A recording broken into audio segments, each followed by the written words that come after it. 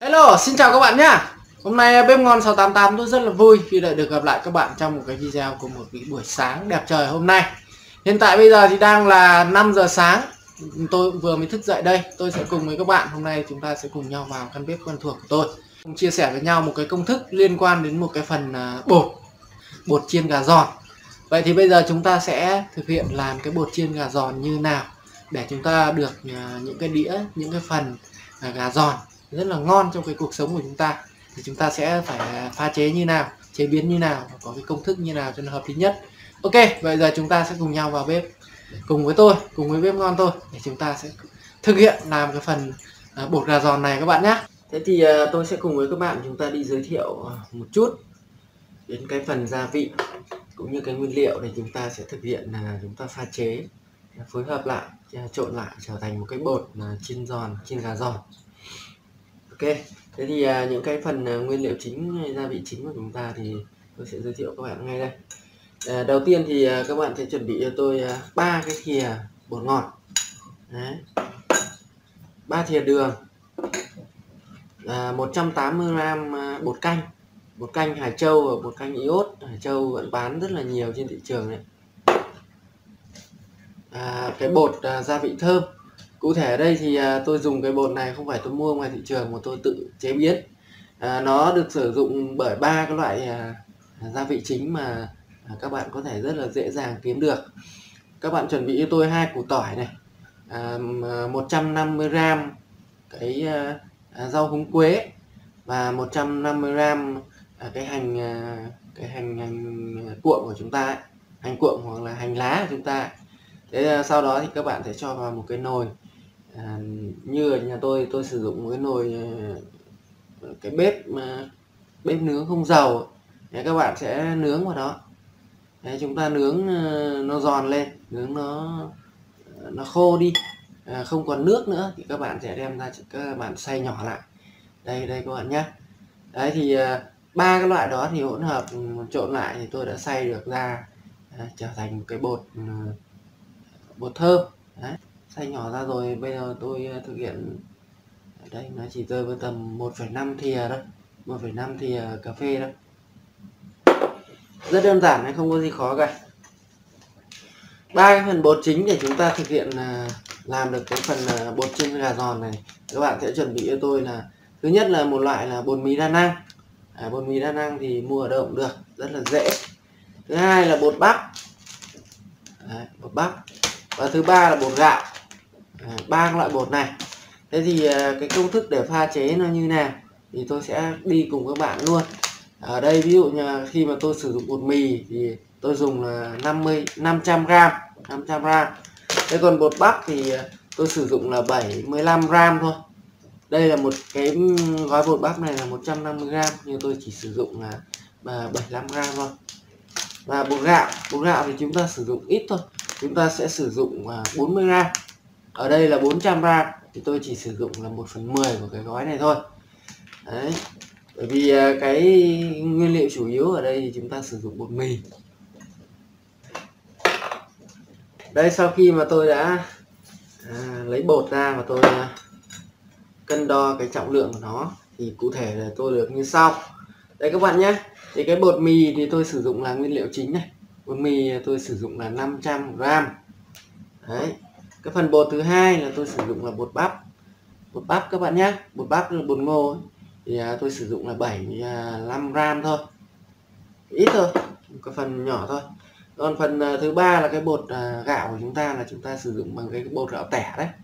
Thế thì à, ở đây tôi sử dụng à, 40 gram thôi.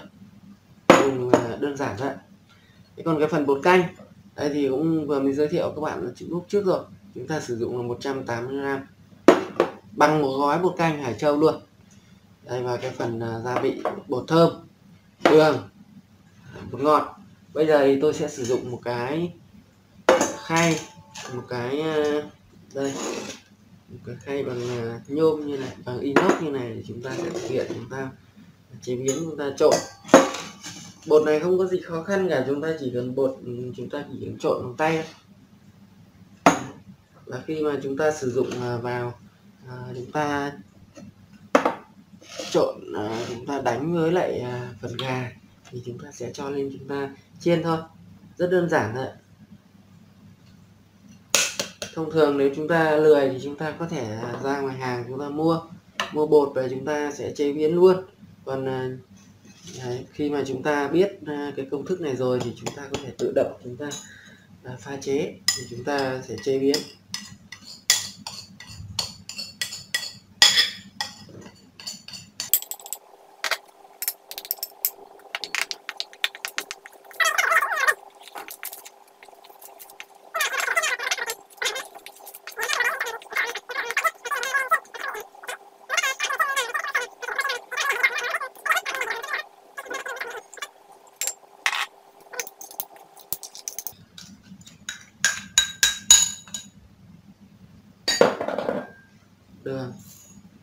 đường các bạn không nên cho nhiều nhé. Đường chỉ nên cho cho định lượng như vậy thôi. Vì à, đường này khi mà chúng ta đưa vào bột quá nhiều thì khi mà chúng ta cái bột này nó là bột chiên giòn mà. À, khi ta cho vào trong à, à, dầu chiên thì một cái lượng vừa phải thì không sao mà nó cùng với bột thì không có sao. Nhưng nó nhiều quá thì nó sẽ à, sẽ trở thành à, nó nó cháy và nó đắng à, các cái món của chúng ta.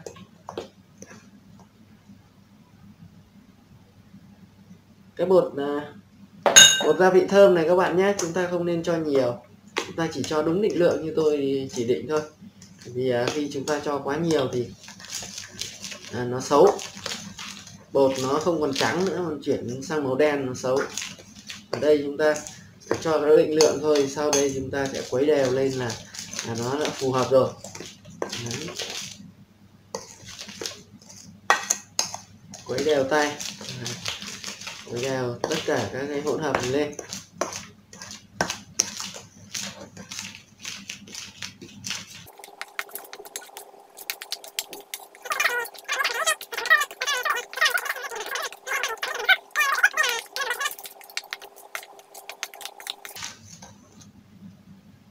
Ok, thế là được rồi. Với cái bột như này thì chúng ta có thể sử dụng, chúng ta trộn với lại các phần gà, các cái miếng gà. Sau đấy thì ờ, à, chúng ta đợi nó ngấm bột. À, chúng ta sẽ thực hiện à, chúng ta đưa lên chiên giòn thôi các bạn. Rất là ngon. Đấy.